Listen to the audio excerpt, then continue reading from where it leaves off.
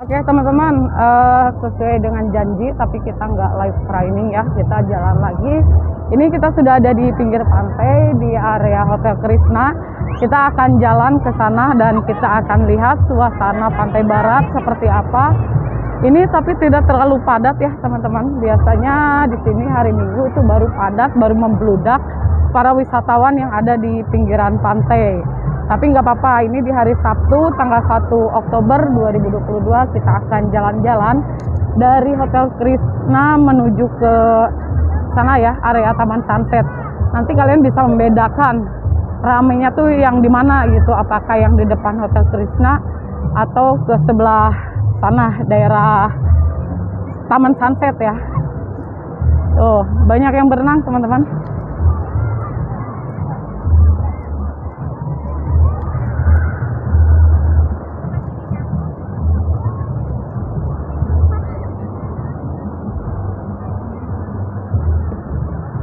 Tenang ya. Sini banyak perahu karena perahu ini suka disewa buat penyeberangan ke Pantai Pasir Putih.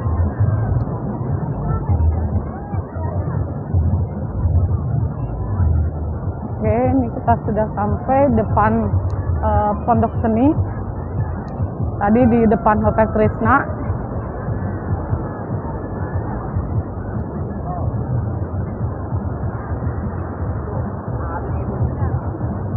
Kita akan coba jalan.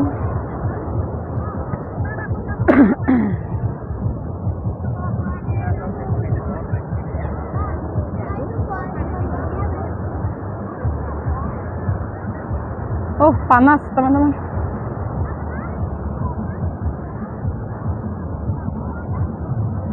Ya mau liburan liburan. Ayo ke Pangandaran. Ombaknya aman ya stabil cuaca cerah cuma tadi ada gerimis sedikit. Kita lewat ke pinggiran pantai yuk banyak perahu ini. Oh daerah sini kurang ya kurang ramai. Wah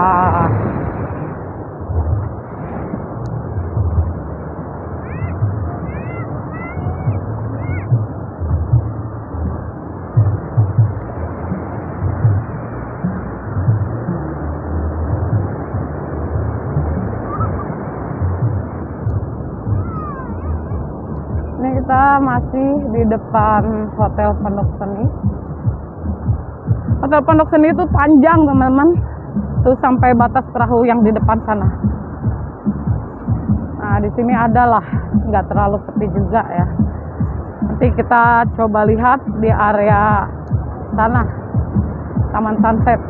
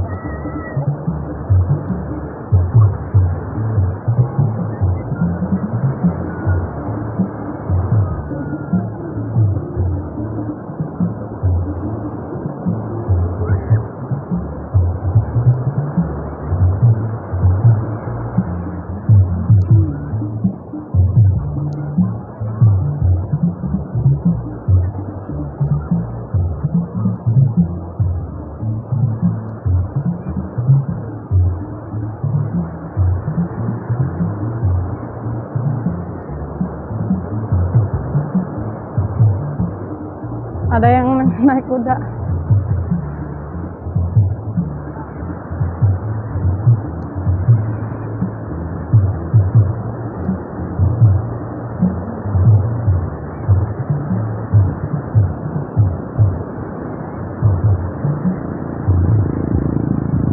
Oh, panas banget teman-teman. Keringatku.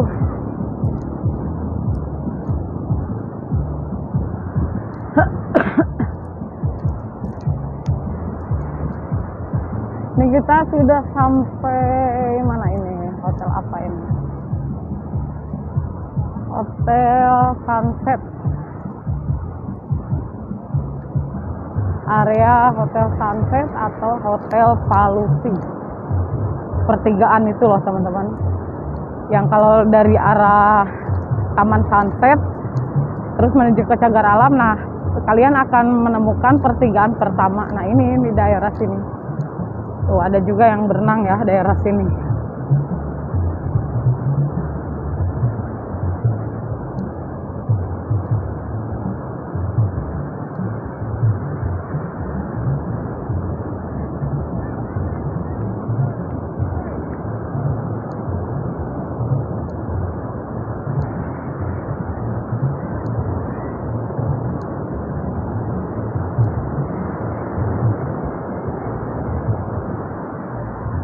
Tuh, di sini selalu dikasih tanda ya, bendera. Kalau di sini tuh dilarang berenang. Mestinya di depan area Hotel Krishna, di situ baru boleh berenang.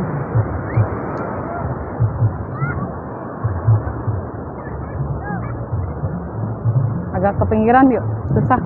Ada perahu.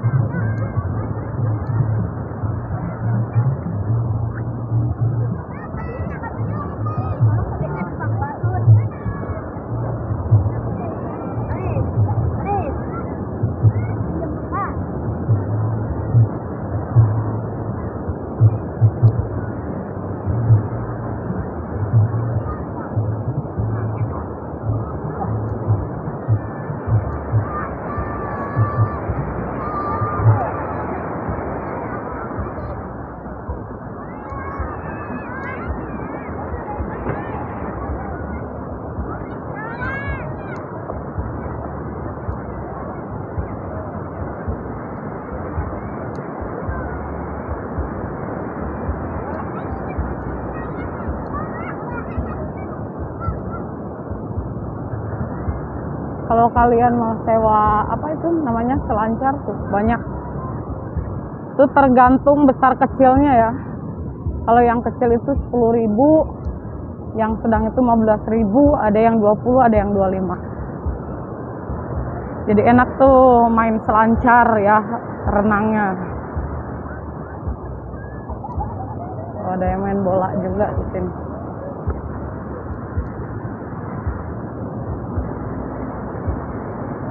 Wah, ada yang main surfing, teman-teman. Kita lihat itu sana. Ada yang main surfing.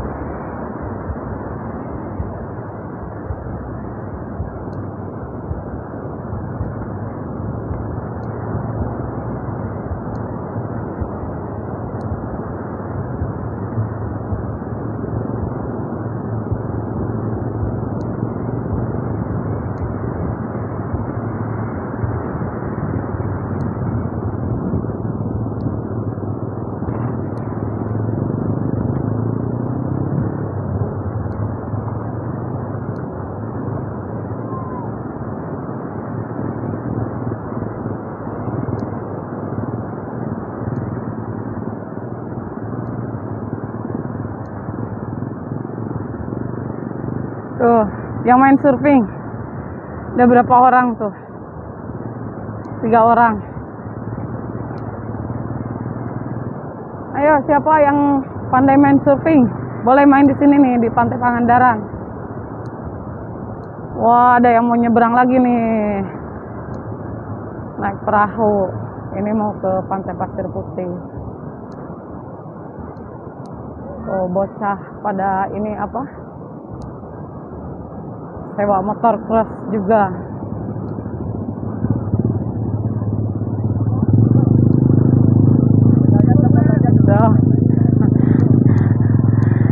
Idris. Semangat atau semangat. Nah itu jadi mau nyebrang ke pantai pasir putih ya teman-teman. Tuh ada yang main surfing? Kita coba zoom ya Nah, itu pada main surfing.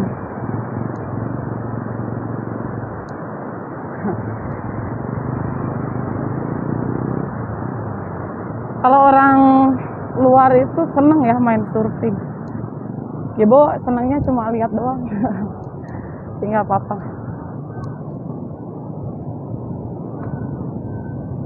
Ini Kibo sudah ada di depan Hotel Uni dan kalian juga bisa lihat sendiri di sini suasananya tidak terlalu rame, tidak seperti yang di depan Hotel Krishna.